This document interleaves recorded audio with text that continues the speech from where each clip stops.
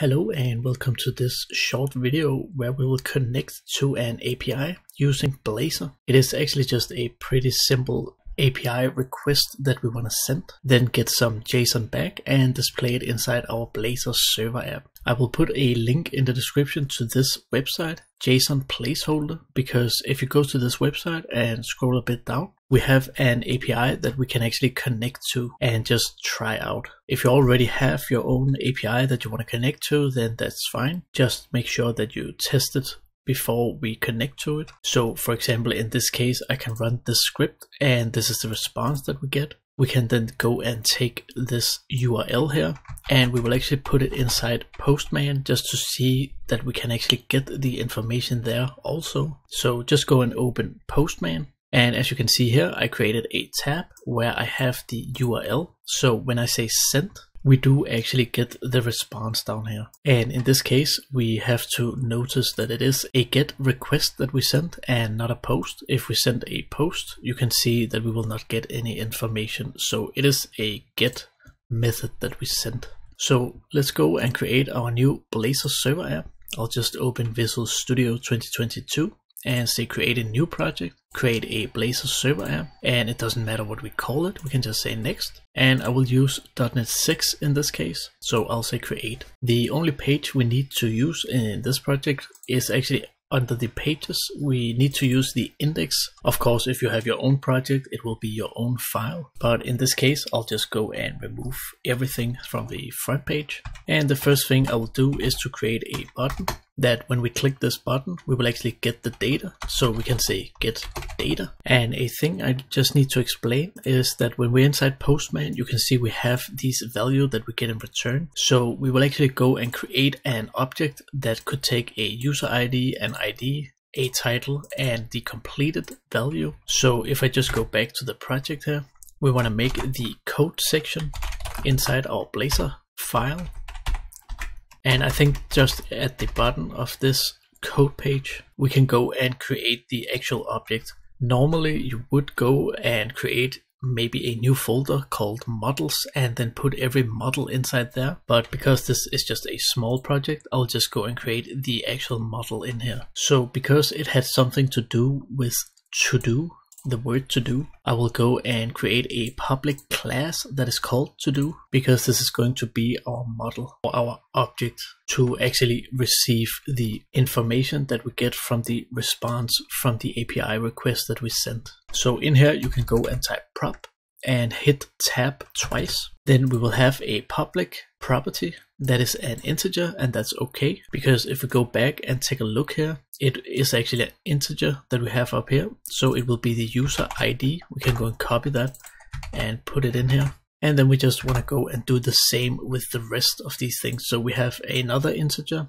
we have a string here called title and we have a bool called completed. So we can just go and create these properties here. So now I have the integer which is an, an ID and we have a string that is the title and we have a bool that is called completed.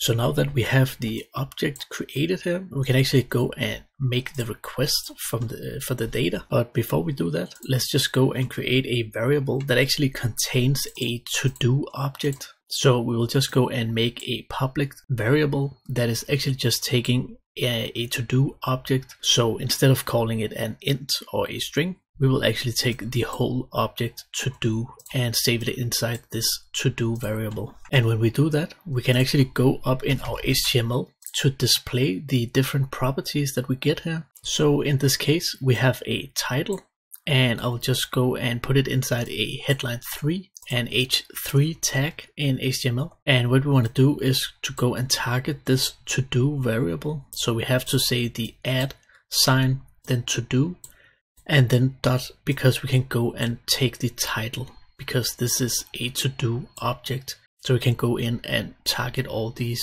properties that we have inside our to do object. But to begin with, when we actually run the application, this will just be null. So what we can say is that if to do is not equal to null, then it will go and display these things because then we have some value inside the to do variable. And that also means if it is null, then we will not get displayed these tags. So now let's go and create the actual API request. We first want to have a new HTTP client that we can use to make the request. So what we do is we make a public variable that takes the HTTP client and we will just call it HTTP client as the name of the variable. And then we want to make a new instance of this HTTP client and put it inside our variable here. So the next thing is to actually make a method here that is going to be called when we click the button and that will actually go and fetch the data. That's also why I call it fetch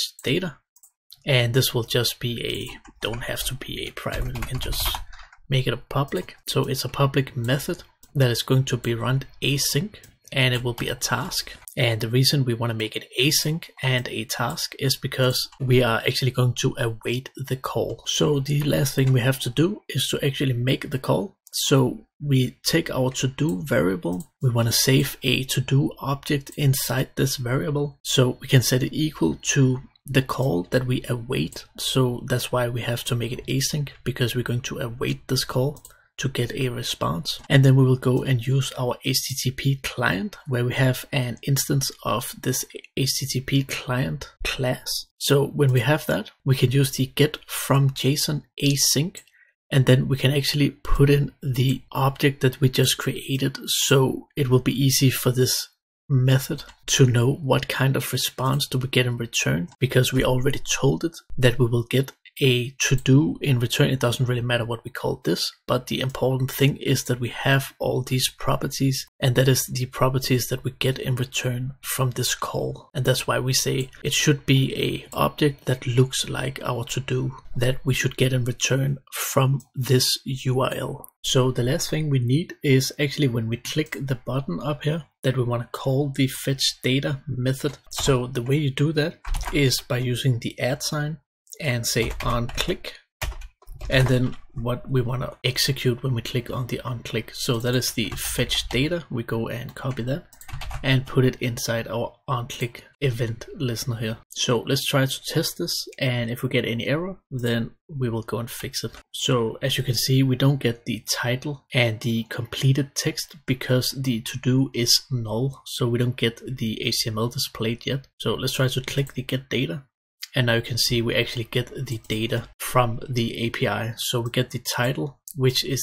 this title, and we get the completed, which was false. So this is how you make a simple get method API call in Blazor. It is actually pretty simple. When we have the model, we actually just need to feed it to this HTTP client where we say get from JSON async and then just say that we want this in return or this is what we expect. Of course you can go and make more complicated calls. So if you for example don't just get one title per to do thing then you could actually go and let's try to copy this and say that we have titles instead and we want to say in here that we maybe have three titles we know that every single to do have three different titles then you can go and say title and put it in here instead so we say titles, and then we actually expect that this title have all these values inside. So it could be title 1, 2, and 3. So if this API call should return a title that was actually an array, then you could just go and say titles and put them because you know they have these values and then put them in here. So if any of you who see this video and you have some more complicated things, then please tell it in the comments because then I could make a video about how to do it. But for now, this video is just going to be simple. So that would actually be all. So have a nice day and bye.